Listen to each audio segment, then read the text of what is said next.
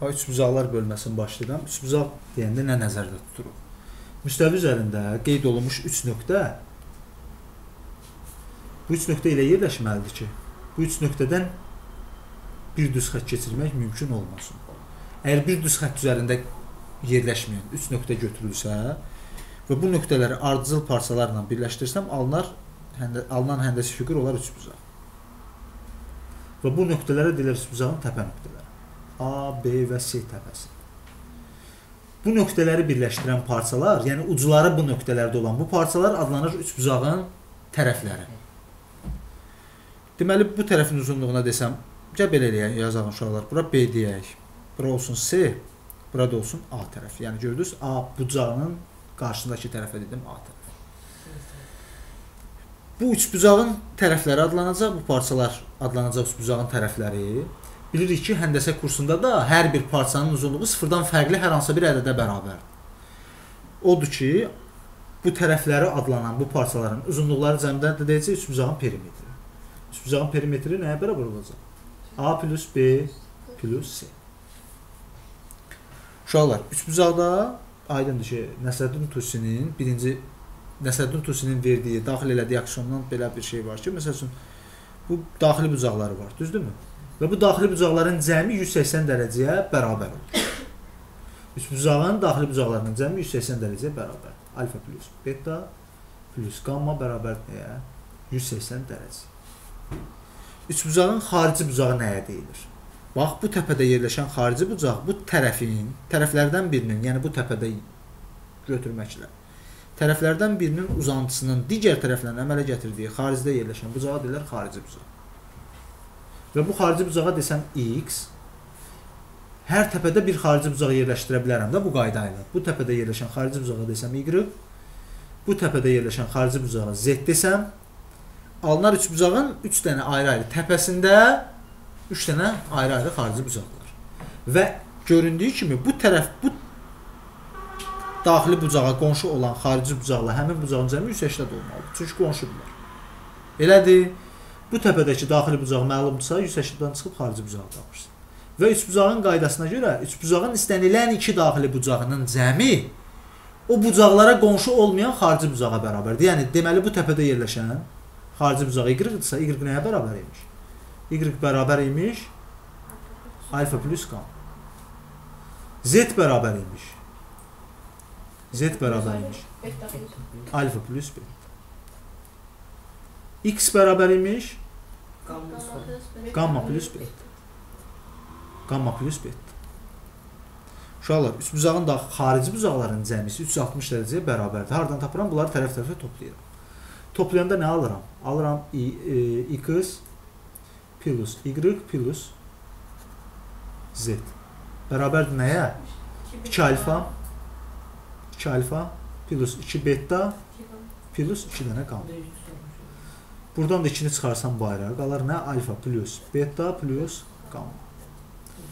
Bu da 180 olduğundan 2-yə vurarsan 360. Çıxar ki, üç bucağın xarici bucaqlarına cəmi nəyə bərabər imiş? 360 dərəcə. Aydındır. Üç bucaqda uşaqlar, yəni üç önəmli olan üç bucağın qurulması məsələsidir. Yəni üç bucağın nə hansı parçalardan üç bucaq qura bilərsən? Üçbucaq qurulması üçün o parçalar və o bucaqlar hansı şərt ödənməlidir? Bax uşaqlar, üçbucağın mümkünlük əlamətində belə bir faktora baxırsan. Deyək ki, hər hansı bir üçbucaq verilib. Bu üçbucağın bucaqları arasındakı münasibəti bilirsən. Yəni bucaqlar arasındakı münasibət deyəndə bu alfa bucağı, bu beta bucağı, bu da olsun qamma bucağı. Deyək ki, burada ən böyük tərəf gördüyümüzə görə buradır da. Bura A, B, C. AC tərəfi ən böyük tərəfdir də görünür. Demə bu ən böyük tərəfi qarşısında saxlayan bucaq ən böyük imiş. Demə ən böyük bucaq olacaq nə? Beta. Ən böyük bucaq olacaq beta. Ən böyük bucağı oldu nə? Beta. Bura deyək ki, məsəl üçün beta B olsun. Bura olsun A, burada olsun C ən böyük bucaq tərəfin ən böyük tərəf hansı bucağın qarşısında durur? Ən böyük bucağın qarşısında və yaxud ən böyük bucaq qarşısında ən böyük tərəf durur. Deməli ən böyük bucaq betadır, sonra alfadır, sonra da qammadır. Bu münasibətə görə demə beta bucağının qarşısında duran tərəf ən böyük tərəfdir B. Alfa bucağının qarşısında duran tərəf bu B-dən kiçik olacaq, amma digərindən böyük. Qam x e, alfanın qarşısındakı tərəf də C. C. Çatdı. Demək üçbucağın qurulması üçün vacib olan şərtlərdən biri budur ki, böyük bucaq böyük tərəfi qarşısında saxlayan bucağa deyilir. İndi həmin qayda ilə uşaqlar üçbucağın qurulması üçün üçbucağın tərəfi olan par parçalar arasındakı hansı münasibət var? Deməli uşaqlar, baxın məsələ belə bir şeydir. Deyək ki, hər hansısa bir üçbucaq verilir və bu üçbucağın tərəfləri bu tərəfin uzunluğu A-dır, bu tərəfin uzunluğu B-dir, bu tərəfin uzunluğu C-dir. İstənilən bir tərəfini götürəm. Tutaq ki, götürəm uzunluğu C-yə bərabər olan tərəf. C hökmən bu iki tərəfin cəmindən kiçik olmalıdır. Əgər cəmdən bərabər olmuş olsa, bu parça ilə bu parçanı üst-üstə qoyanda boy vermədi. Elə C-dən eyni ölçüdə oldu. Yox, bunların ikisinin cəmi C-dən balaca olmuş olsa, o parçaları baş-başa saxlamaq olmaz, avtomatik düşər C-lə üst-üstə. Çatdı nədən gedir söhbət? Deməli C kiçik olmalıdır A-nın B-nin cəmindən böyük olmalıdır A ilə B-nin fərqinin modulundan. Niyə modul qoyurlar? Ona görə modul qoyurlar ki, bilmirsən axı hansı hansından böyükdür. Yəni modul əməlini qoyubsa, A minus B-ni modulda yazmışamsa, bu deməkdir ki, A ilə B-dən böyüyün hansıdırsa, böyüyündən kiçiyini çıxmaq deməkdir. Çatdı necə? Yaxşı. Uşaqlar, üçbucağın da növləri var. Bucağın növlərindən danışırdıq ha. Deyirdik ki, məsəl üçün tutaq ki, 90-dan kiçik bucaq idi, 90 dərəcəli bucaq düz bucaq idi, 90-dan böyük bucaq kör bucaq idi. 180 dərəcəli bucağa da deyirdin açıq bucaq. Üçbucağın növləri, bax, üçbucağın növlərindən danışanda bu həmin o dediyim o mümkünlük əlaməti var. İstənilən tərəf üçün danışır. Bir dənə bu şeyi deyim. Bucaqlarından biri 90 dərəcəyə bərabər olan üçbucağa düz bucaqlı üçbucaq deyilir. Burada bu e, deyək ki, bu olsun A təpəsi, bu olsun B təpəsi, bu olsun C təpəsi. Bax, AB və AC adlanır bu 90 dərəcəli bucağa əmələ gətirən tərəflərdir. Bunlar adlanır katetlər. Bax, bunlara deyirlər katetlər.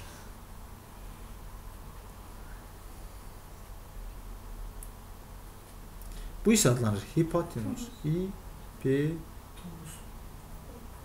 P,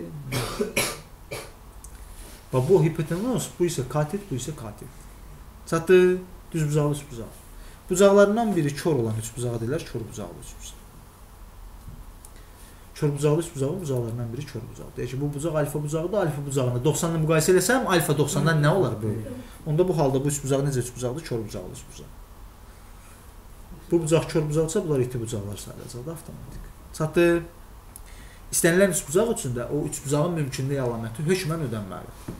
Gəl belə danışaq. Uşaqlar, bizə bir üçbucaq verilir. Bu üçbucağın iki tərəfi məlumdur. Deyək ki, bura A-dır, bura B-dir. Bu tərəf məlum deyil. Gəl bura deyək X. X tərəfinin uzunluğu barədə hansı mülahizəni yürüdə bilərsən? Yəni X-in uzunluğu hansı aralıqda yerləşməlidir? A-B-dən A-la B-nin Cəmindən kiçik. Fərqindən böyük. fərqindən böyük. Demək A ilə B-nin cəmindən kiçik, fərqinin modulundan. A minus B fərqinin modulundan böyük olmalıdır. Üçbucağın perimetri hansı şərt ödəməlidir? Perimetr nəyə deyilir? Bütün tərəflərin cəmi. Bax, bu bərabərsizliyi görürsüz, bu iki qat bərabərsizliyidir. Bu iki qat bərabərsizliyi. Bax, bu tərəfin uzunluğuna x desəm, bura A-dır, bura B-dir. Bunu perimetr eləmək üçün üzərinə nə əlavə eləməlisən bunu? A plus B. X var, A ilə B-ni cəmin əlavə eləməlisən. Onda bu perimetrə çevrilməz avtomatik. A plus B-ni əlavə eləyəndə nə olacaq bura? 2. A plus B. Elə burada əlavə eləyəndə nə olacaq? A minus B üstünə gəlməlisən nəyə? A plus B. Bax perimetrdə bu aralıqda qiymət alır. Çatdı uşaqlar. Sadə bildiyimiz qaydadır da. Çətinlik bir şey yoxdur. Üçbucağın hündürlüyü nəyə deyilir? Bax, deyək ki, hər hansı bir üçbucaq verilib. Hündürlük aydındır ki, bax bu təpədən bu tərəfə endirilmiş elə parçaya deyilir ki, həmin parça bu tərəflə 90 dərəcəli bucaq altında kəsişir. Yəni bura perpendikulyar olsun. Biz həndəsənin əsas anlayışlarını verəndə nöqtədən düz xəttə qədər məsafə anlayışını verdik ki, nöqtədən düz xəttə qədər məsafə nəyə deyilir? Nöqtə ilə düz xətti birləşdirən elə parça uzunluğunun məsafə sayılır ki, həmin parça verilmiş düz xəttlə 90 dərəcəli bucaq altında kəsişir. Çatdı. Demək hündürlük budur. Görünür ki, bu hündürlükdə deyib bax bura endiriləcək. Bu hündürlükdə endirildi. Üçbucağın 3 üç dənə hündürlüyü var. Bu üçbucaq, o hündürlük və bu nöqtədə kəsişdilər. Nəysə, indi elə üçbucaq var. Düzbucaqlı üçbucaqda, düzbucaqlı üçbucaqda. Hündürlüklərin kəsişmə nöqtəsi təpə nöqtəsinə düşür. Hündürlüklər təpə nöqtəsində kəsişir. Bax belə bir düzbucaqlı üçbucaq verilib. Bu düzbucaqlı üçbucağın Baxın. Bu təpədən bax bu təpədən bura endirilmiş hündürlük elə bu katetin özüdür. Aha. Bu təpədən bura endirilmiş hündürlük digər katetin özüdür. Jip üçüncü hündürlüyü də bax budur. Və gördünüz bunlar üç buzağın düz buzaq təpəsində kəsişdilər. Çatdı necə? Bax bu da hipotenuz idi da. Körbucaqlı üç buzağı üçün. Körbucaqlı üç buzağın hündürlükləri körbucaqlı üç buzağın daxili oblastında yerləşməz. Üç buzağın daxili oblastı nə edilir? Bax bu hissə var ha. Üçbuzağın daxili oblastı adlanır. Bax bu üçbuzağın daxili oblastıdır. Bunlar isə xarici oblast sayılır. Bu isə tərəf üzərindədir. Üçbuzağa aid olan nöqtə. Körbucaqlı üçbuzaq verilib deyək ki. Körbucaqlı üçbuzağın hündürlüyü körbucaqlı üçbuzağın daxili oblastına düşməz. Niyə? Hündürlük olması üçün uşaqlar. Hündürlük olmaq üçün. Bax fikir verin bura. Hündürlük tərəfə ola bilsin ki, endirə bilməyəsən. Onda tərəfin uzantısını endirirsən. Bax bu tərəfin uzantısı hara gəlib çıxır? Bu tərəfin uzantısı gəldi çıxdı bax bura. Bu hündürlüyü gördünüz, tərəfin uzantısına perpendikulyar. Aha, 90 dərəcə. Çatdı. Demək bu iti bucaq təpəsindən endirilmiş hündürlük gördünüz, bucağın daxili oblastında yerləşmədi. Bu parçanın bu üç bucağın daxili oblastında yerləşməsi o deməkdir ki, bu parçanın bütün nöqtələri üç bucağın daxili oblastına aid olsun. Çatdı. Aid olmadı deyə daxili oblastında yerləşməz. Bu təpədən hündürlük endirsəm, o bu tərəfin uzantısını endirilir, bax gəlir çıxır. Çatdı nə demək istəyirəm? Bu isə elə adicə qaydada verilmiş hündürlükdə endirilir tərəfə perpendikulyar. İndi uşaqlar, maraqlı bir faktor budur ki, ola bilər ki, perimetrin mümkünlük əlamətinin zaten dediyi bucaq üçün dedik. Bərabər tərəfli üç bucaq nədir? Bildiniz də kör bucaqlı üç bucaq, e, daha doğrusu düz bucaqlı üç bucaq, kör bucaqlı üç bucaq, sonra iti bucaqlı üç bucaq. Yəni bucaqlı üç bucaq faktorundan demirsən, çünki üç bucaqda hökmən 2 dənə iti bucaq olmalıdır da. İndi nədir məsələ uşaqlar? Biz e, bərabər tərəfli üç bucağı o üç bucağa deyəcəyik ki, onun bütün tərəfləri bərabərdir. Məsələn, bu üç bucaq bərabər tərəflidir o zaman ki, onun bütün bucaqları və bütün tərəfləri bir-birinə nə olur? Bərabər. Demək, belə bir üç bucağa baxsan, ABC üç bucağının bütün bucaqları bir-birinə bərabər olur. Bərabər tərəfli bucağın bütün tərəfləri bir-birinə nədir? Bərabər. Bir yağ dediyim qaydaya görə bütün tərəflər bərabərdirsə, onları qarşısında saxlayan bucaqlar da bərabər olar və çıxar ki, bütün bucaqlar bərabərdir. Və cəm 180 olduğundan çıxır ki, hər biri 60 dərəcəyə. Bu da 60 dərəcədir, bu da 60 dərəcə. Uşaqlar, bərabər yanlı üç bucağı yalnız iki tərəfi bir-birinə bərabər olan üç bucağı deyilir. Bax bu bucaq. Deyir ki, bura A-dır, burada A-dır, burada B-dir. Bu alfadır, onda burada nə olacaq? Alfa olacaq. Bu bucaqlar bir-birinə nə oldu? Bucaqlar bərabərdir, tərəflər də bərabər oldu. Ola bilər ki, bu tərəflə bu tərəf bərabər olsun, dəxli yox. Əgər bərabər yanlı üç bucağın bucaqlarından biri 60 dərəcə olsaydı, o avtomatik bərabər tərəfli olardı. Niyə? Deyək ki, bu təpə bucaq 60 olsa, bərabər yanlı olduğundan bu bucaq bu bucağa nə olmalı idi? Bərabər. Cəm 180 olduğundan 180-dan 60-ı çıxırsan, 120, bunlar qalır 60-60. Yox, bunları 60, bu 60 olsa avtomatik bu da 60 olar. Toplayanda 180 eləməsi üçün burada 60. Demə bərabər tərəfli üç buzağın buzaqlarından biri 60-dırsa, avtomatik nədir? Bərabər yanlıda tərəflərdən bir buzaqlardan biri 60-dırsa, bu avtomatik bərabər tərəflidir. Uşaqlar, kör buzaqlı üç buzaqda kör buzaq qarşısında duran tərəf üçün mümkünlük əlaməti var. Bax, deyək ki, hər hansı bir kör buzaqlı üç buzaq verilir. Bu kör buzaqlı üç buzağın bu kör buzağıdır, fi buzağı olsun. Bu kör bucağı olan fi, bu da tərəflər məlumdur. Burası A olsun, burası B olsun, bu da C olsun. Kör bucağın qarşısında duran tərəfin ala biləcəyi qiymət hansı aralıqdadır? Və bunun konkret metodu budur. Əgər bu bucaq kör bucaq olmasaydı, yəni kör bucaq olma anı hansı hansı andan başlayır? 90-dan böyüdükcə bax. Baxın belə deyil. Bu 90 dərəcədir. Artıq bu 90 dərəcədirsə, Bu ani bir dənə belə dönməyi artıq 90 tam nə qədər olmasa onu kör bucaq eləyir. Deməli, əgər bu bucaq 90 dərəcə olsaydı, onda bunun qarşısındakı tərəf 90 dərəcəli bucaq qarşısındakı tərəf olardı və o bu düz bucağın üst bucağın nəyi sayılardı? Hipotenuzu. Pifagor teoremasını bilirik də, düz bucaqlı üst bucaq üçün Pifagor teoreması doğrudur. Onu qeyd edirəm bura. Katetlərin biri A-ya bərabər, biri isə B-yə bərabərdir, hipotenuz isə S-yə bərabər. Hipotenuzun kvadratı bərabər olur katetlərin kvadratlarının cəmi. Kvadratı bərabərdir katetlərin kvadratları. İndi əgər bu 90 dərəcə olsaydı, katetlər bunlar olardı, hipotenuz da bu olardı. Sizcə bu tərəfləri dəyişməsəm, S-ni buranı 90 elədiyim zaman S nə olmalıdır? Kiçilməlidir də. S kiçilər. Bu 90 90-a yaxınlaşdıqca S nə olar? Kiçilər. 90 olsa S deyək ki 10-dırsa əgər bu kör bucaqdırsa bu S-nin ala biləcəyi qiymət nə olacaq onda ən kiçik?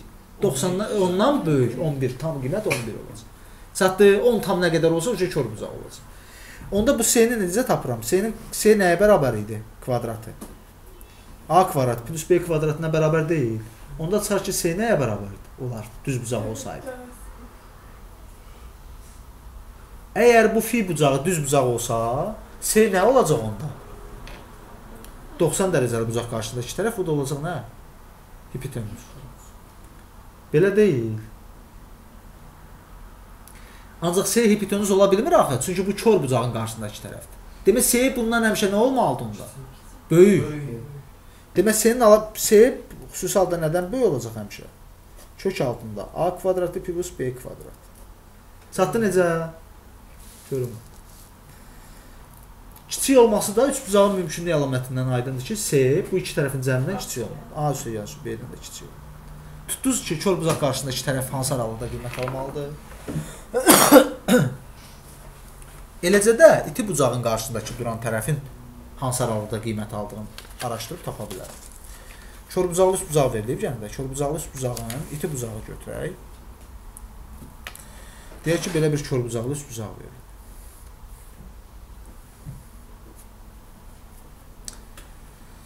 Kör bucaqlı üst bucağın iti bucaqlarından. Bax buna deyirəm alfa. Bura A. Alfa bucağının qarşısında olan A tərəfinin ala biləcəyi qiymət hansı aralıqda? Bura B, burada C olsun. Sizcə sizcə S minus B-dən böyük olur. Ay, su. S kvadrat minus B-dən B, kvadratdan kiçik əhsən, əjdaha. Niyə elədi uşaqlar? A A əgər bu kiçilsə, ha bu fi bucağı böyüksə, adi halda A-nın aldığı qiymət hansı aralıqda olur? Yəni bilirik ki, üç bucaqda mümkünlük əlaməti var və mümkünlük əlamətinə görə S ilə B-nin fərqinin modulundan böyük olmalıdır. Elə deyil. İndi A-nın ala biləcəyi ən böyük qiymət nə olar? Bax sizcə. A-nın ala biləcəyi ən böyük qiymət o zaman olar ki, bu düz bucaqlı üst bucaq olsa, düz bucaqlı üst bucaq olsa. Düz bucaqlı üst bucaq olduğu halda ən böyük qiymətini alar və A ala biləcəyi ən böyük qiymət də nə olar? S-nin kvadratından, yəni hipotenuzun kvadratından çıxaram digər məlum katetini. Deməli A nəyə olar? A kiçik olmalıdır onda 90 olmadığından düzbucaqlı üst bucaq olmadığından. Körbucaqlı üst bucaqsa avtomatik bu körbucaqlı üst bucağın iti bucaq qarşısındakı duran tərəf kiçik olacaq. Nədən? S-nin kvadratı çıx, B-nin kvadratı böyük olacaq. E, modul da S minus B. Uşaqlar, aydın oldu necə?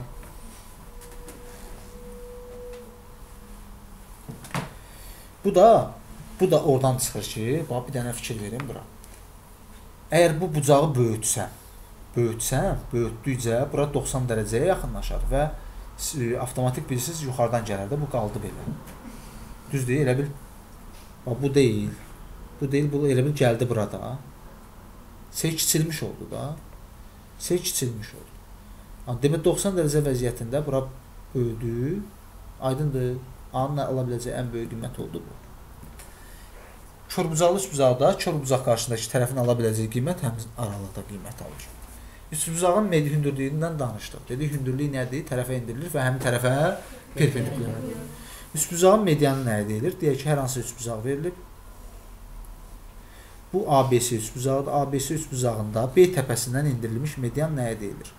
Demək, B təpəsindən endirilmiş median AC tərəfini iki bərabər parçaya ayırır. Yəni iki bərabər parçaya ayırırsa,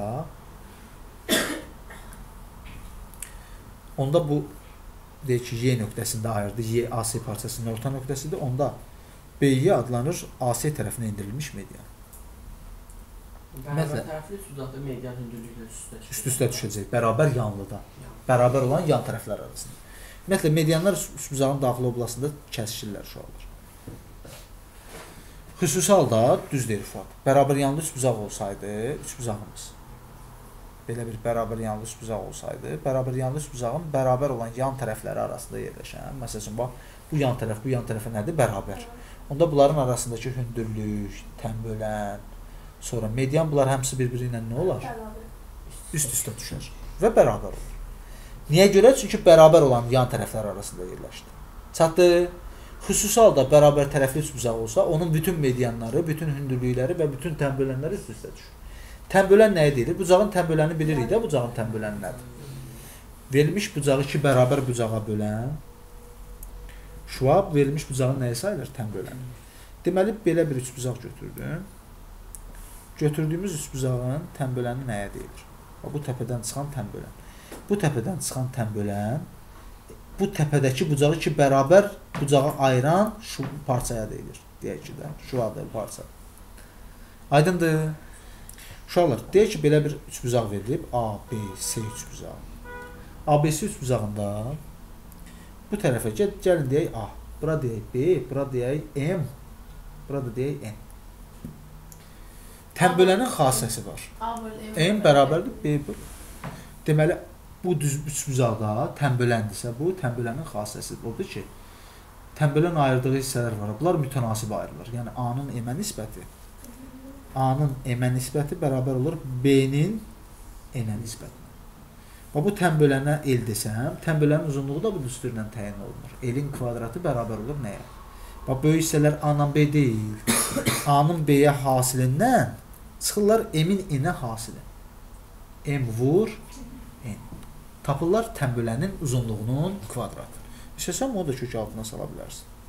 Kökün altında A vur B, çıxırsın M vur N. Aydındır uşaqlar. Tənbölənin uzunluğu düzdür. Sonra üçbuzağın medianının xassələrindən danışmaq olar. Üçbuzağın medianı üçbuzağın dediyi daxili oblasında kəsişir. Və birinci qrupa gedən uşaqlar bunu yadında saxlasınlar ki, ümumiyyətlə hamımıza aiddir. Orada qaydada da vermişəm. Qaydada da vermişəm ki, deyək ki, üçbuzaq verilib. Üçbuzağın medianları kəsişir. Dedim bayaq ki, üçbuzağın medianları üçbuzağın daxili oblasında kəsişir. Deyək ki, medianlar kəsişir və bu kəsişmə nöqtəsində mütənasib parçalara ayrılır. Baxın, fikir verin buna. Bu medianın uzunluğu nədirsə, bax bu ayrılan bu nöqtədən bu hissəyə qədər x desəm, bura nə olar? 2x. Bu obşu y-dırsa, bura y desəm, bura nə olar? 2y. Bura obşu z, bura z desəm, bura olacaq 2z. Bax, bax fikir verin, təpədən kəsişmə nöqtəsinə qədər olan hissəyə 2 pay düşür. Kəsişmə nöqtəsindən tərəfə qədər olan hissəyə 1 pay. Gördünüz burada da 2 pay bura, 1 pay bura. Burada da təpə nöqtəsindən bura 2 pay, bura 1 pay. Bu medianların kəsişmə nöqtəsi adlanır bir üçbuzağın ağırlıq mərkəzi. Əgər üçbuzaq formasında bir əşya olsa, həmin əşyanın ağırlıq mərkəzi düz düşər medianların kəsişmə nöqtəsinə. Aydındır? Belə. Medianın uzunluğu üçün düsturumuz var. Deyək ki, hər hansı bir üçbuzaq verilib. Bu üçbuzağın tərəfləri də məlum. Tərəfləri məlum olan üçbuzaqda sizə bir dənə xassələri deyim uşaqlar, bir dənə tutacaqsınız özünüz. Deyək ki, bu tərəf A-dır, bu tərəf B-dir, bu tərəf C-dir. Bura endirilmiş mediana baxıram. C tərəfinə endirilmiş üzr istəyirəm, bu hündürlükdür. Bu da mediandır. Həmişə tənbölən e, hündürlüyü ilə medianın arasında yerləşir. Ya belə çəkək də, deyək ki, bu tənbölən olsun, bu da median olsun. Tənbölən hündürlüyü ilə medianın arasında yerləşdi. Çatdı. İndi deyirəm ki, bu hündürlük olsun M, bu median olsun MC. Yəni MC deməyim o deməkdir ki, MC MC. Yəni C tərəfinə çəkilmiş medianın uzunluğu bərabər olur 2də 1. Digər iki tərəf nədir? A-la B deyil. 2 vurulsun A-nın kvadratı plus 2 vurulsun B-nin kvadratı çıxılsın C-nin kvadratı. Çatdı. Deməli, üçbucaqda C tərəfinə çəkilmiş medianın uzunluğu necə təyin olunur? Digər iki tərəfin kvadratları cəmini 2-yə vurursan, çıxırsan hansı tərəfə indirilibsə həmin tərəf uzunluğunun kvadratı. Aydındır? Eləcə də MA A tərəfinə çəkilmiş medianın uzunluğu olacaq 2də 1. Digər iki tərəf nə olacaq? B ilə C.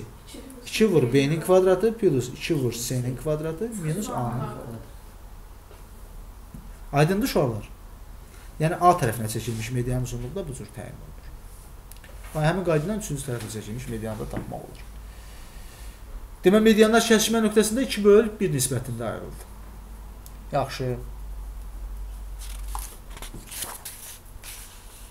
Uşaqlar, düzbucaqlı üçbucağa qayıdıb, düzbucaqlı üçbucaq üzərində bir ki, e, xassəni daxil eləmək istəyirəm. Deyək ki, düzbucaqlı üçbucaqdır. Mən sizə demişdim ki, tənbölən həmişə medianla hündürlüyün arasında yerləşir. Deyək ki, bu düzbucaqlı üçbucaq verilib. Bu düzbucaqlı üçbucağın bu düzbucaq təpəsidir. Düzbucaq təpəsindən bir hündürlük endirsən, bir tənböləni indirsən, bir də medianı indirsən, təbii ki, dediyim bu mediandır. Bu tənböləndir, bu mediandır. Deməli, bu medianla hündürlüyün arasında qalan bucağı soruşa bilər. Medianla tənbölən arasında qalan bucağı soruşa bilər. Hündürlüklə tənbölən arasında qalan bucağı soruşa bilər. Bu düz bucaqlı üç bucaqdan, iti bucaqlardan biri alfa, biri betadırsa, hündürlüklə median arasında qalan bucaq bu bucaqların nəyi olur? Fərqi. Hündürlüklə median arasında qalan bucaq, yəni bax bu bucaqdan gedir söhbət. Hündürlüklə medianın arasında qalan. Fi bucağı nəyə bərabər olur? Həmin bucaq fi bərabər olur nəyə? Modulda beta çıxılsın alfa və yaxud alfa çıxılsın beta. Modulda bilirsiniz də, yəni böyükdən kiçiyə çıxacaq. Yox, əgər soruşsa ki, hündürlüklə tənbölən arasında və yaxud hündürlüklə median arasında xüsusi halda düzbucaqlı üçbucaqda düz bucaq təpəsindən çıxan tənbölən həm median və hündürlük arasında qalan bucağı da tən bölür. Çatdı? Deməli, onda tən bölürsə fi bölü 2 olar da bu bucaq. Medianla hündürlük arasında qalan bucağı soruşsa, yəni o da e, alfa minus beta bölü 2 olur. Yəni 2-də 1 ilə də. Çatdı nə deyirəm? Və yaxud beta minus alfa bölü 2-də 1. Bu da elə 2-də 1 ilə hesablanacaq, bu da 2-də 1 ilə hesablanacaq. Çatdı? Düzbucaqlı bucağın tip bucaqları arasındakı fərq 5 olsa, hündürlüklə median arasında qalan bucaq nə olar? 5-ə bərabər. Bəs tənbələnlə median arasında qalan bucaq. 2 tam onda 1. 2-yə böl bö bölürük. Düzbucaqlı bucaq da. Düzbucaqlı bucaq. Bunu yadımdan heç vaxt çıxartma. Düzbucaqlı bucaqda bucaqlarından biri 30 dərəcədirsə, bu 30 dərəcəli bucağın qarşısındakı katet hipotenuzun yarısına bərabər olur. Hipotenuzu A-ya bərabər olan düzbucaqlı üç bucağın 30 dərəcəli bucağı qarşısındakı tərəf A bölünmüş 2-yə bərabər. 30-un qarşısındakı hipotenuzun yarısıdır. 60 dərəcəli bucağın qarşısındakı isə 30 dərəcəli bucağın qarşısındakı tərəfin kök altı 3 mislidir. Yəni kök altında 3 vurulsun A böl 2. Çatışalar. Sonra uşaqlar biz üçbucaqlar üzərində, məsələn üçbucağın növləri üzərində də çox işləyirik. Əsas əslində bax deyək ki Üçbucağın bərabərlik əlamətləri var. Üçbucağın bərabərlik əlamətləri 3 3 növ əlamət var da. Bucaq, bucaq, bu, bucaq, tərəf, bucaq. Bucaq, tərəf, bucaq. Tərəf, tərəf, tərəf. Bucaq, tərəf, bucaq. 3 əlamət var. Bax birincisi nədir? Bir üçbucaq verilib, ona bərabər olan başqa bir üçbucaqlıq. Başa olar, bir üçbucağın bütün tərəfləri digər üçbucağın bütün tərəflərinə bərabərdirsə, o üçbucaqlar bərabərdir. Bir üçbucağın iki bucağı. Deyək ki, bu alfadır, bu da betadır. Bu da alfadır, burada nədir? Beta. Beta. Bir üçbucağın iki bucağı və daha doğrusu bir tərəfi və o tərəfə bitişik olan iki bucağı digər üç bucağın uyğun olaraq bir tərəfi və həmin tərəfi bitişik iki bucağa bərabərdirsə, bu üç bucaqlar Bərabər. Bu bərabərliyin birinci əlaməti. Hansı əlamətdir? Bucaq tərəf, bucaq. İndi iki tərəf və onlar arasında qalan bucaq. Bir üst bucağın iki tərəfi və onlar arasında qalan bucaq. Bir üst bucağın iki tərəfi A-dan B və onlar arasında qalan alfa bucağı. Digər üst bucağın iki tərəfi və onlar arasında qalan bucağa bərabərdirsə, bax bir üst bucağın iki tərəfi və onlar arasında qalan bucaq, digər üst bucağın iki tərəfi və onlar arasında qalan bu- bucağa bərabərdirsə, belə üst bucaqlar nədir? Bərabər üst bucaqlar. Aydındır? Bu da tərəf, bucaq, tərəf alan. Üçüncü də dedim, bütün tərəfləri bərabər olan üst bucaq bərabər. Üst bucağın oxşarlığı nə? Uşaqlar, həndəsədə çox vacib olan şeydir üst bucağın oxşarlığı. Həndəsə üst bucaqlar nəzəriyyəsində 100 dənə məsəl üçün 100 dənə düstur varsa, bu 100 dənə düsturun minimum 80 dənəsi oxşarlıqla isbat olunur. Oxşarlığın yəni əhəmiyyəti o qədər böyükdür. Oxşarlığı da bax bir üst bucağın oxşar iki üst bucaq oxşarlığa tərif verəndə deyirsən ki, bax bu üç bucaqla bu üç bucaq oxşardır. Niyə oxşardır? Çünki bütün bucaqları eynidir. Bərabərlik başqa söhbətdir, oxşarlıq başqa söhbətdir. Xüsusi halda bərabər olan üç bucaqlar da oxşardır. Çünki oxşarlıq nə deməkdir? Bu üç bucağın bütün bucaqları alfa, beta, gamma, gamma. Uyğun olaraq burada alfa, beta, qammadırsa, yəni uyğun bucaqları bərabərdirsə, bu üç bucaqlar oxşardır. Bu üç bucaqla bu üç bucaq oxşardısa, onda bunun tərəfləri olan parçalar mütənasibdir. Demək bunun tərəfi A-dır, bunun tərəfi B, bunun tərəfi C-dirsə, uyğun olaraq bura A vurulsun K imiş. Bura B vurulsun K imiş. Bura isə e, C vurulsun K imiş. Həmin bu K ədədinə deyirlər oxşarlıq əmsalı. Bu K-nın adları çoxdur. Oxşarlıq əmsalı da demək olar, Tənasib mütənasiblik əmsalı da demək olar, bucaq əmsalı da demək olar, homotetiya əmsalı da deyirlər. Həndəsədə iki addan daha geniş istifadə edirlər. Oxşarlıq əmsalı və yaxud homotetiya əmsalı. Çatdı? İndi üçbucağın oxşar olması üçün şərt var da. Bir üçbucaqda iki bucaq uyğun olaraq digər üçbucağın iki bucağına bərabər olsa, avtomatik bu üçbucaqlar nədir? Oxşar. Niyə? Ona görə ki, bura alfa, bura betadırsa, cəmi 180 olduğundan buranı tapmaq üçün alfa ilə betanı top, toplayıb 180 çıxıb tapmırsan. Burada da 2 dənə bucaq bərabərdirsə, alfa betadırsa, bu da onda üçüncü bucaqda bərabər olacaq. Bu da gələcək tərifə bucaqlara bərabər olan bucaqlar oxşardır. Bir üç bucağın oxşarlığı üçün bax beləsinə bir şərti verdim. Bütün tərəfləri mütənasibdirsə, o üç bucaqlar oxşardır. Üç bucaqların bərabər olması və yaxud oxşarlığını yoxlamaq istəyirsənsə, hökmən bərabər bucaqların qarşısında duran tərəflər bərabər olmalıdır ki, onlar bərabər olsunlar.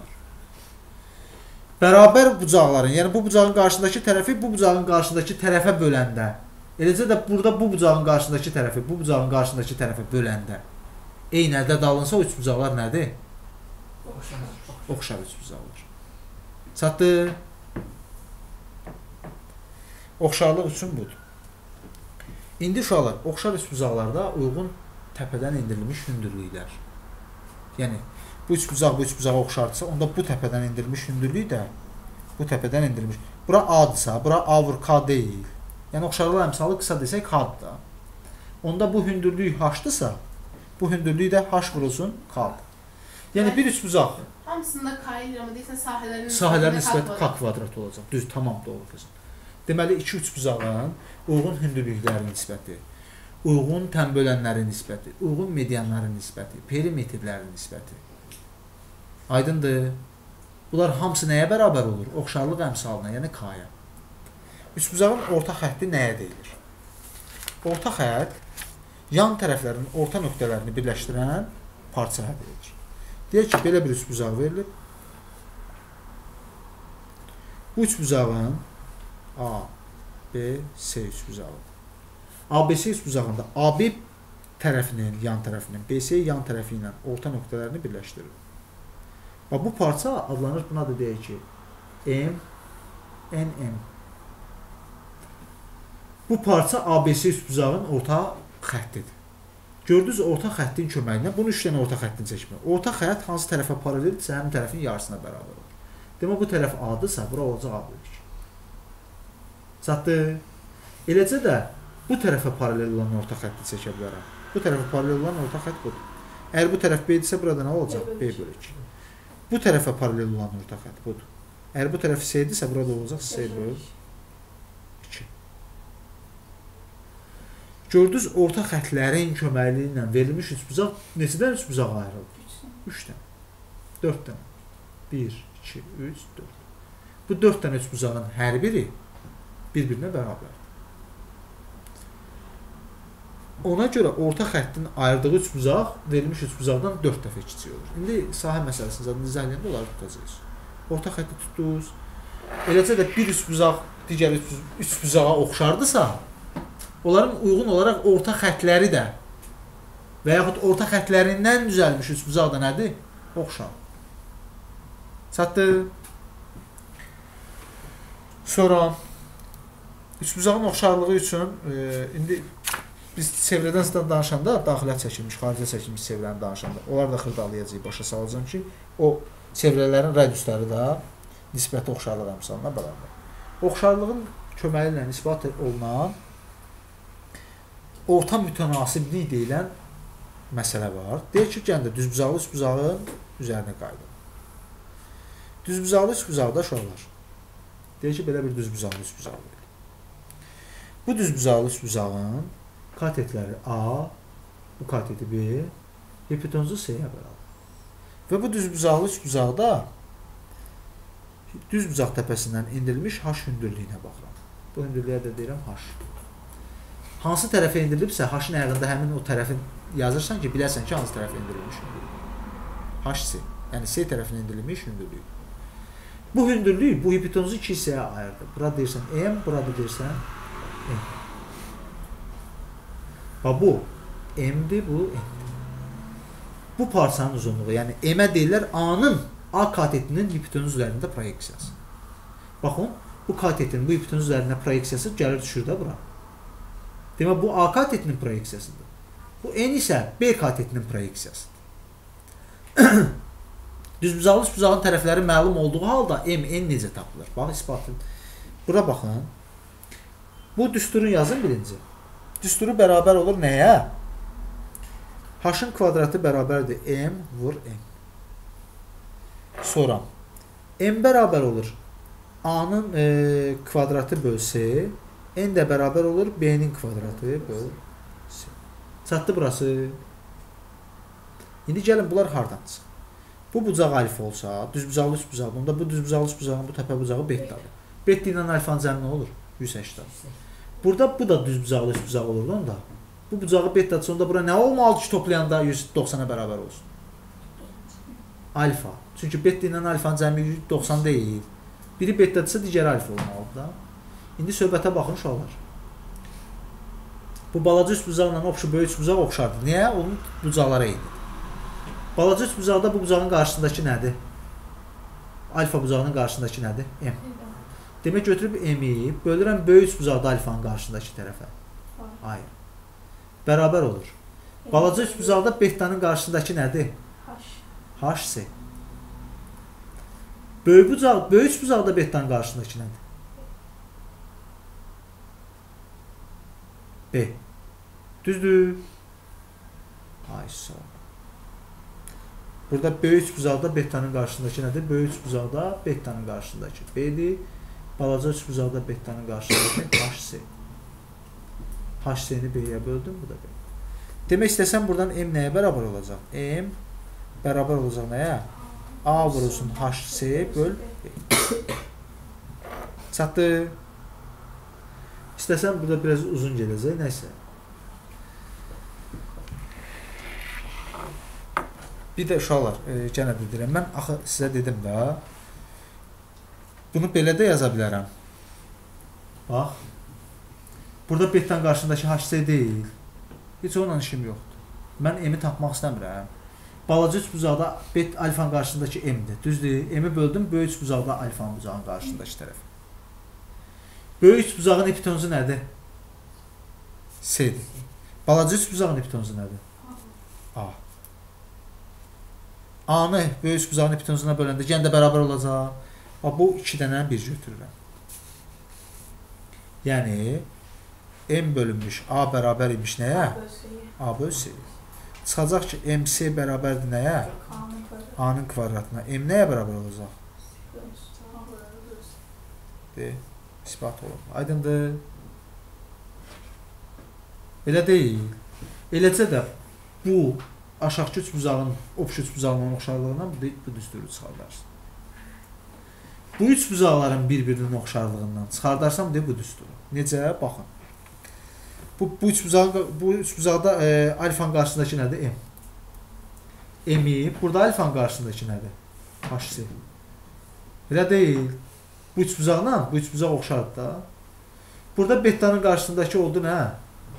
Alfanın qarşısındakı M, burada alfanın qarşısındakı HC. Burada betanın qarşısındakı HC.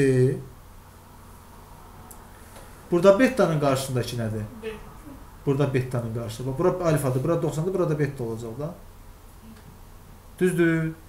Burada betanın qarşısındakı nədir? N. Demək belə N. Demək bunu kresinə vursam, HC-nin kvadratı bərabər nəyə? M. HC də bərabərdir kök altında. M vur. Ha, bunlar orta mütənasiblik deyirlər də. Çatışarlar çıxarda bilərik də oxşarlığın köməyi. Oxşarlığın yəni əhəmiyyəti kifayətli də böyük.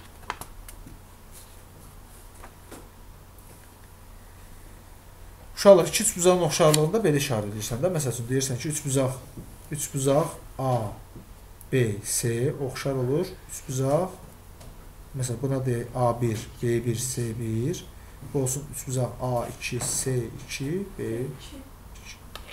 Bax bu iki üçbucaq bir-birinə nədir? Oxşar. Oxşarlıq nə deməkdir? Uyğun tərəflərin nisbəti bərabər olsun və yaxud bütün bucaqları eyni olsun. Bu halda üçbucaqlar oxşar. Uşaqlar, vacib məsələlərdən biri də üçbucağın daxilinə və xaricinə çəkilmiş danışır. Birinci üçbucağın xaricinə çəkilmiş çevrədən danışır. Ox çevrə, o çevrə üçbucağın xaricinə çəkilmiş çevrə adlanır ki, üçbucağın təpə nöqtələrini üzərində saxlasın. Bax.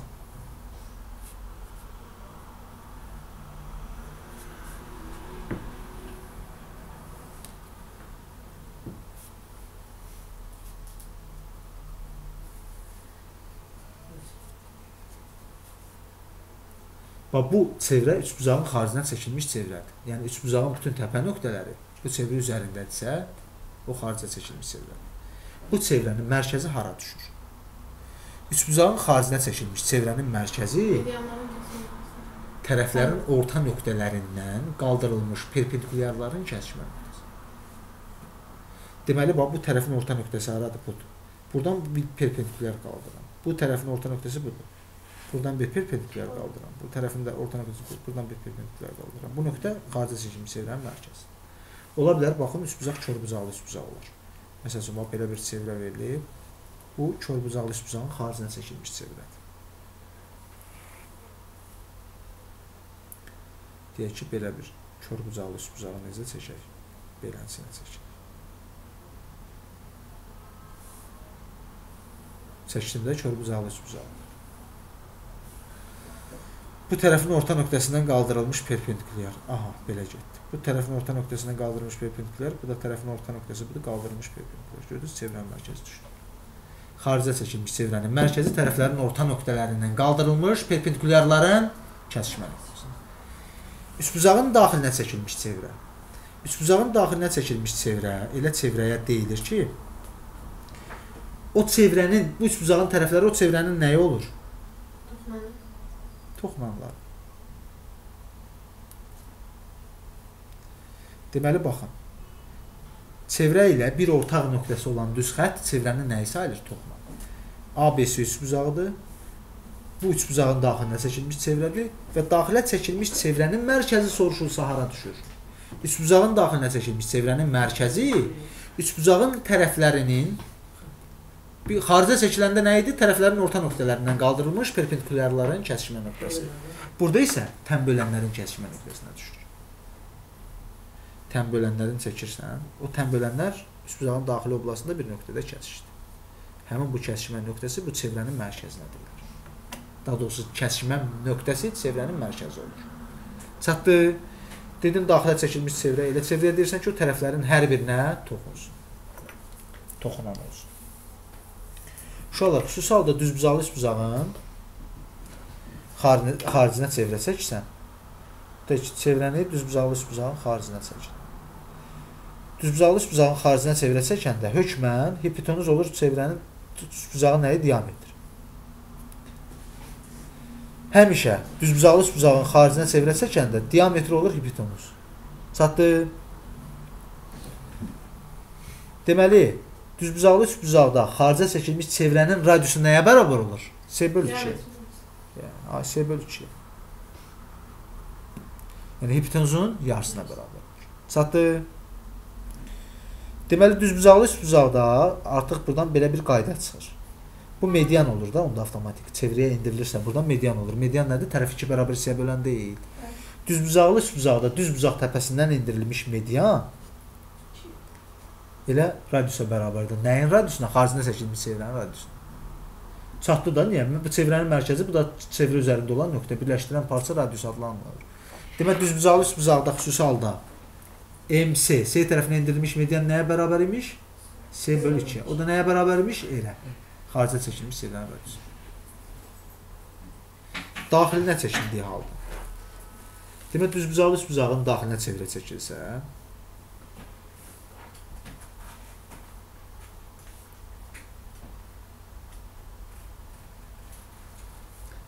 Bura A-dır. Düzbucaqlı üsbucağın katetləri A, B, C-dir. Bunun daxilinə çevrə çəkilir. Təbii ki, toxunan olar da tərəflər. Radiusda toxunana nə olur həmişə? Perpendikulyar. Bax, aha. Demək, daxilə çəkilmiş çevrənin radiusuna R desəm, bu R-in tapılma düsturu var. Katetləri toplayırlar, çıxırlar hipotenuzu. Yəni A plus B çıx C bölü 2. Düzbucaqlı üsbucağın katetləri toplanır. Həmin katetlərin cəmindən hipotenuz çıxılır, bölünür 2-yə, verilir bu xarici verir xaricə çəkilmiş, daxilə çəkilmiş çevrənin radiusunu. Daxilə çəkilmiş çevrənin mərkəzi hara düşürdü? Tən bölənlərin kəsişməsi. Bərabər tərəfli üsbucaqda bilirsiniz də daxilə xaricə çəkilmiş çevrələrin mərkəzi üst-üstə düşəcək. Çünki tərəflərinin orta nöqtələrindən qaldırılmış perpendikulyarlar ilə hündürlüklər, tən bölənlər, medianlar hamısı üst-üstə düşəcək. Belə. Uşaqlar, bərabər bəzi şeyləri var, haşiyələr çıxırıq. Məsələn, bax, düstur şəklində bunları yadımızda saxlayıb çünki bizə məsələ həllində bu kömək edən şeylər var da, bunları hazır şəkildə yadda saxlamaq lazımdır. Yox, bilmiyorum. Bunu, bunu üsbucaqlara aid deyil. Deməli, bərabər yanlı üsbucaq olsa və bərabər yanlı üsbucağın burası A, burası A, burası tapmaq üçün bura 120 dərəcədir. Bərabər yanlı üsbucaqda 120 tərəf, 120 dərəcəli bucaq qarşısındakı tərəf yan tərəfin kök altında 3 mislidir. Demək, bura A-dırsa, bura nəymiş? Kök altında 3A. Çatdı. Sonra e, hazır şəkildə yadda saxlansın düsturlardan biri də budur. Bərabər tərəfli üçbucaq verilib. Bərabər tərəfli üçbucaqdır. Bunun daxilinə çevrə çəkilir. Bu çevrənin radiusu. Bax, üçbucağın tərəfi A-dırsa, çevrənin radiusu var ha, daxilə çəkilmiş çevrənin radiusu. 2 kök altında 3-ə vurursan, çevrənin radiusunu. Çevrənin radiusunu 2 kök altında 3-ə vuranda verir üçbucağın nəyini? Ra e, tərəfini. Toxunan olmadı, hə? Xaricinə çəkilmiş çevrənin radiusunu soruşanda.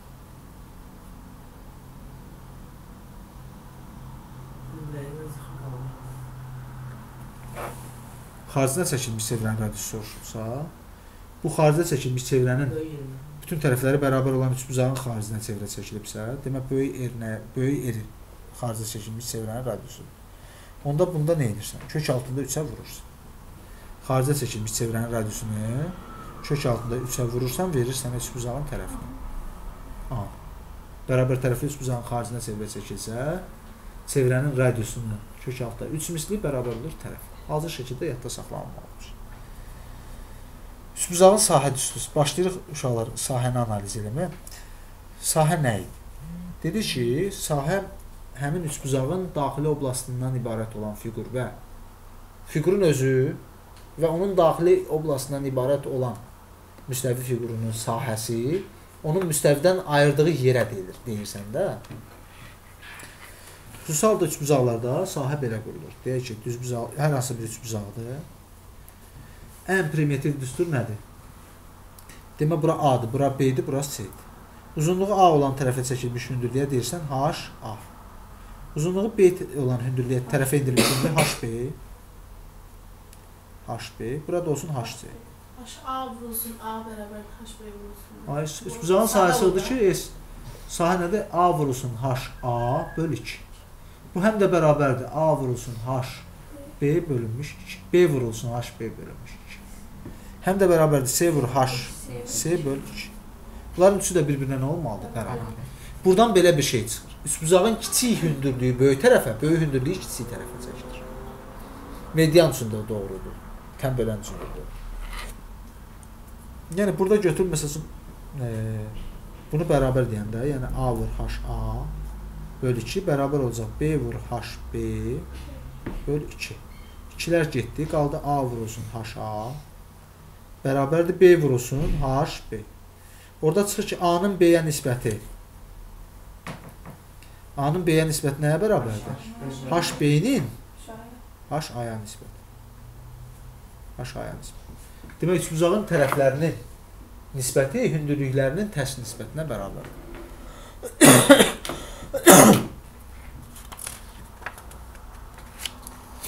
Üçbuzağda uşaqlar.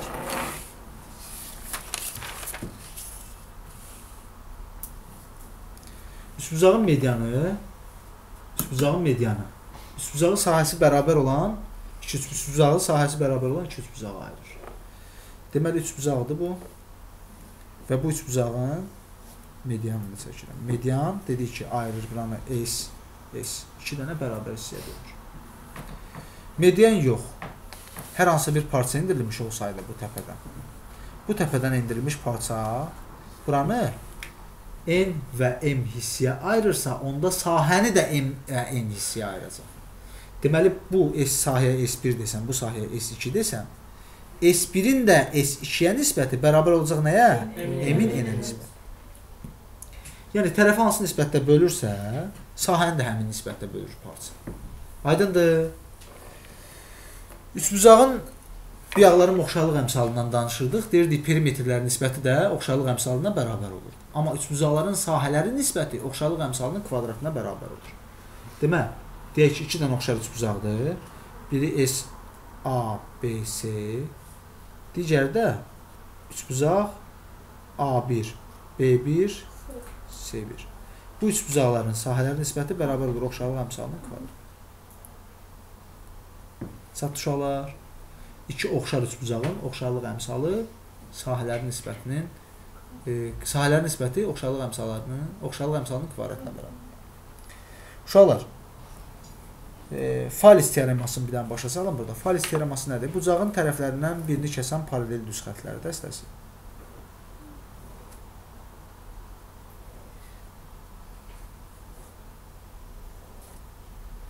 Bucağın tərəflərindən birini kəsən paralel düz xəttlərin dəstəsi digər tərəfi də kəsir.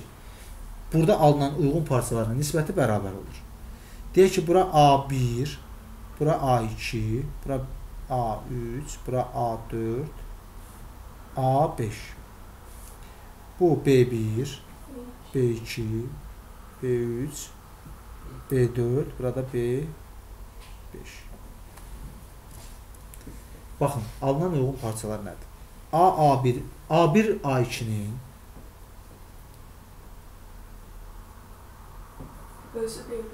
B1 B2-yə A2 A3-ün B2 B3-ə Aydındır, bu qayda ilə hamısı bərabər olacaq. Uyğun parçaların nisbətləri bərabərdir. Çatdı. Sonra uşaqlar düz sahə ilə bağlı bunu dedim ki, indi bir sahə ilə bağlı bir şeylər çıxacaq ortaya. Məsələn, düz buzaqlı düz buzaq verilib, düz buzaqlı düz buzaq. Və düzbucaqlı üçbucağın daxilinə çevrə çəkilir. Bu çevrə hipotenuzu M və N uzunluğunda 2 dənə hissəyə ayırır. Aydındır nə deyirəm? Onda bu üçbucağın sahəsi bu hipotenuzun ayrıldığı hissələrin hasilinə bərabərdir. S düzbucaqlının sahəsi, düzbucaqlı üçbucağın sahəsi bərabər olur nəyə? M vur N. Bu bildiyiniz MN deyil ha, hündürlüyün ayırdığı MN deyil. Bu başqa MN-dir. Bax buradakı MN deyil. Yadınızdadır belə MN. Yadınızdadır H deyirdin, H kvadratı bərabərdir M vur N. Bu MN deyil, bu başqa MN-dir. Aydındır? Bərabər tərəfli üçbucağın sahəsi üçün konkret, yəni yadda saxlanmalı düstur. Yəni kök altında 3 bölünsün 4a-nın kvadratı. Bərabər tərəfli üçbucaq verilsə, bərabər tərəfli üçbucağın sahəsi bərabər olar nəyə? A, A, A-dır. Bu S sahə bərabər olacaq nəyə? Kök altında 3 bölünmüş 4a-nın kvadratı. Bu bərabər tərəfli üçbucağın sahə düsturu. Bütün tərəfləri bərabər olanda bu cür hesablayırsan. Sonra Üçbucaqda iki tərəf və onlar arasında qalan bucaq məlum olanda sahə nətərə hesablanır. İki tərəf, biri A-dır, biri B-dir, bir də onlar arasında qalan bucaq var, alfa bucağı. O halda üçbucağın sahəsi bərabər olur nəyə? Bu tərəfi bu tərəfə vururlar, vururlar aradakı bucağın sinusuna bölürlər 2-yə. Yəni A vur B böl 2 vur sinus A. İki tərəf və onlar arasında qalan bucaq məlum olanda üçbucağın sahəsi bu düsturla təyin olunur, hesablanır. Sonra üçbucağın sahəsi üçün Heron düsturu var. Bütün tərəfləri məlum olan üçbucağın sahəsinin Heron düsturu ilə hesablamaq olar. A, B, C. Burada yarım perimetr deyilən perimetri daxil edirlər. Yarım perimetr nədir? Perimetrin yarısı. Perimetr oxşu nədirsə onun yarısına baxırsan. Demək perimetrin yarısını yazıram. A plus B plus C böl 2. Onda S sahə nəyə bərabərdir? S sahə bərabər kök altında. Bu yarım perimetri götürürlər. Kök altında. P vurulsun onun. P minus A. P minus B. P minus C. Şu. Bu verir. Buna ne de herondur.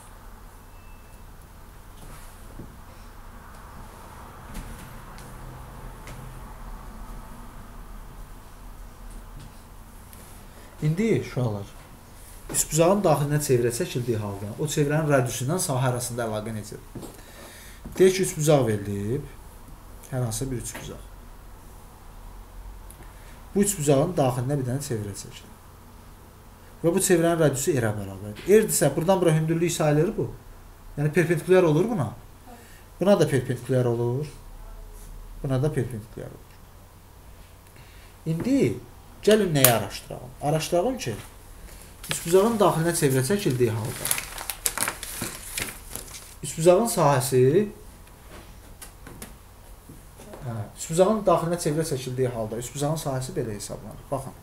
Buradan götürürəm bax təpə nöqtəsindən tərəflərə, təpə nöqtələrinə, çevrənin mərkəzindən təpə nöqtələrinə ayırdım. Burada bu üçbucaq alındı. Əgər bu tərəfə A desəm, bu R-dirsə, bu üçbucağın sahəsi nətər hesablanar? A vur R böl 2. Buradan bura da indirsən. Burada R-dir. Bura B olsa B vur R böl 2. Bura C-dirsə burada R olduğundan C vur R böl 2. Ay, so, toplayan bir-birinə yox. Cəmi oxşu üçbucağın sahəsini verəcək. Oxşu üçbucağın sahəsi bərabər olacaq nəyə? A vur R böl 2. Plus B vur R böl 2. Üstə gəlmişsin. C vurulsun R 2. Burada S nəyə bərabər olacaq? 2 üstündə el vur A. Deməli A üstə gəlmişsin B, üstə gəlmişsin C bölünmüş 2 vur R. Bunu da yaza bilərsən belə P böl 2 vur R. Bax bu P yarım perimetrdəki P deyil ha.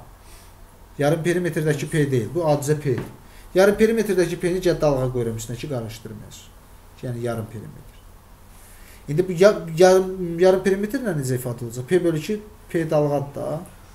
O da R-ə bərabər. Çatdı. Sinuslar terimi var uşaqlar. İndi mən bucağın sinusunu, bucağın kosinusunu anlayışını verəcəm. Hə. Sinuslar terimi var. Gəlin əvvəlcə bucağın trigonometrik funksiyasını daxil edək. Bucağın trigonometrik funksiyası ancaq trigonometrik funksiyaları birinci dəfə daxil edirik düzbucaqlı üçbucaq üzərində. Bax deyək ki, hər hansı bir düzbucaqlı üçbucaq.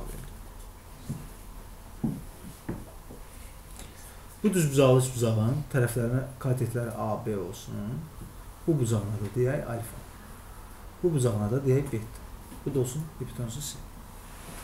Düzbucaqlı üçbucaqda bucağın qarşısındakı kateti hipotenuza verə, böləndə verir bucağın sinusunu.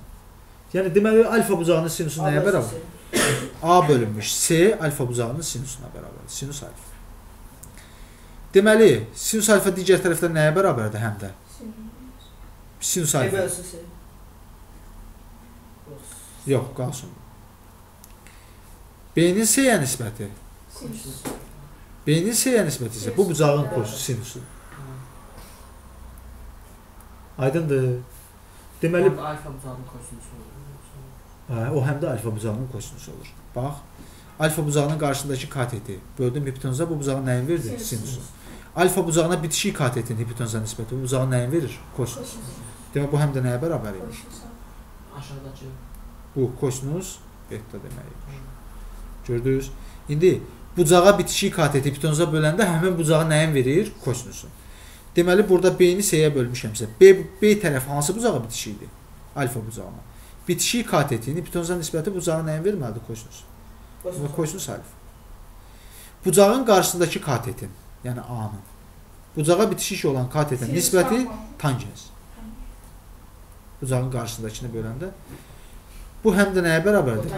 Kotangens beta. Kotangens beta nə deməkdir? Yəni bucağın bucağa bitişik kateti kəsirin sürətində yazırsan, məxrəcində də qarşısındakı katet. Bu həm də elə B-nin aya nisbəti nəyə verəcək? B-nin aya nisbəti tangens beta kotangens alfa. Çatışalar. Başalar. Cədvəl qururam, cədvələ fikir verin. Sinus, bir də kosinus. Bax. Sıfırda qiyməti məlumdur. 30 dərəcədə qiyməti məlumdur. 45-də məlumdur. 60-da məlumdur. 90-da məlum. Nəysə, o birisləri çevirməklə alırlar şimdi. Uşaqlar sinusun cədvəlini çıxartmağı ist- istəyirəmsə, 0-dan 0, 1, 2 bax 0, 1, 2, 3, 4. 4 dənə də eləmədi. Düzürəm, baxın. 0, 1, 2, 3, 4. Cədvəl almaq üçün bunu 4-ə bölüb kök altına salıram.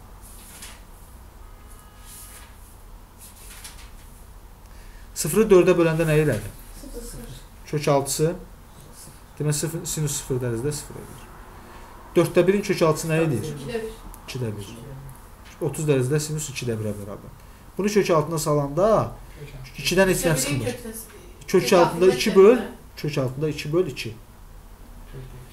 Yəni kök altında 2 böl 2 və yaxud 1 böl kök altında 2 sən deyən. Kök altına salanda bu kök altı 2-dir, buradan da 2 çıxır da.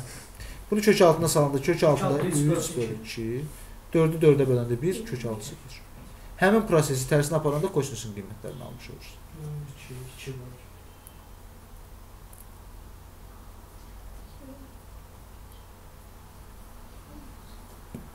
Çatdı.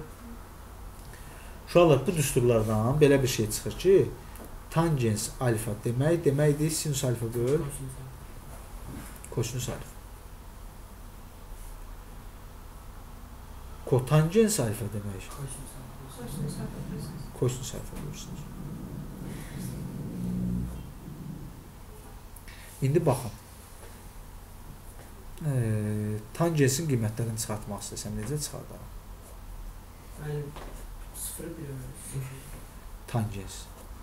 0 Sıfırı bölərəm 1-ə. Sıfır elədi. Bunu buna böləndə 1 böl kök altı. Bunu buna böləndə 1. Bunu buna böləndə kök altında 3. Bu da buna böləndə təyin ola bilər. 1-ə 0-a bölmək olmazaq. Demək tanjent 90-da təyin olur. Çatdı. Mesela mən bunun təsirdə. Kotangens də bunun tərsinə yazılır. Kök altında. Yox, təyin olmuyor.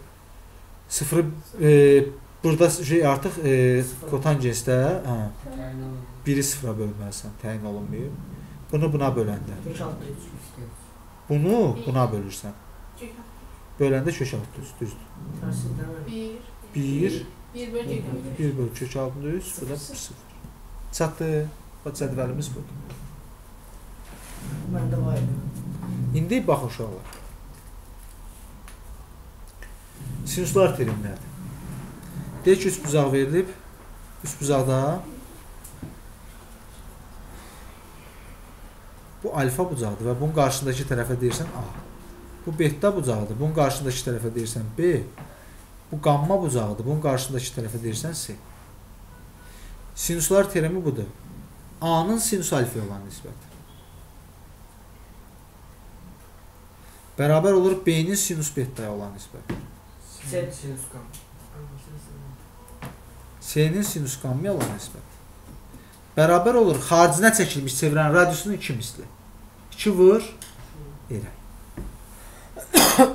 Xarica çəkilmiş çevrənin radiusunun 2 misli.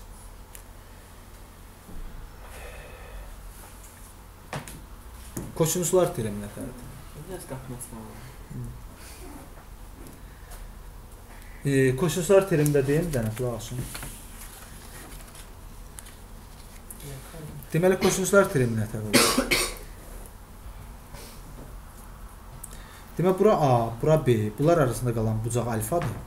Bu alfa bucağının qarşısındakı tərəf x-dir. Və həmin bu x-i kosinuslar terimi ilə tapırlar. X-in kvadratı bərabər olur nəyə? A-nın kvadratı plus B-nin kvadratı minus. A-nın B-yə hasılının 2 misli. A vur B, vur aradakı bucağın kosinus. Çatdı. Yox. Burada kvadrat yazdığıma görə kök altı yazılmış. Çatdı. İndi əgər fikir verin, bura 90 dərəcəyə bərabər olsaydı, 90 dərəcəyə bərabər olsaydı, kosinus 90-dan nə alardı? 0. 0 olsaydı, bura 0 olardı, qalardı Pifagor teoreması. Tutdu. Daha, demək, bu daha ümumi anlayışda Pifagor da bunu xüsus alır. Sonra İndi bir də uşaqlar, burada yekunda belə bir şey deyim. Üçbucaq verilib, üçbucağın Yani bir daha pencereye sığırsın. Böyle okuyamıyoruz ha. Karbon sağa git. Yukarı gelsin oğlum. lenti alıram, qeydə alıram. Sağa yere verdim. Göremiyorsun. Valla böyle. Allah hakkında. Burada nə olacaq? E sahə nəyə bərabərdir? A vur B vur C böl 4 R. Aydın oldu. Tərəflər A, B, C. Xaricdə çəkilmiş üçbucağın sahəsi həmin bu düsturla təyin olunacaq. Çatışalar.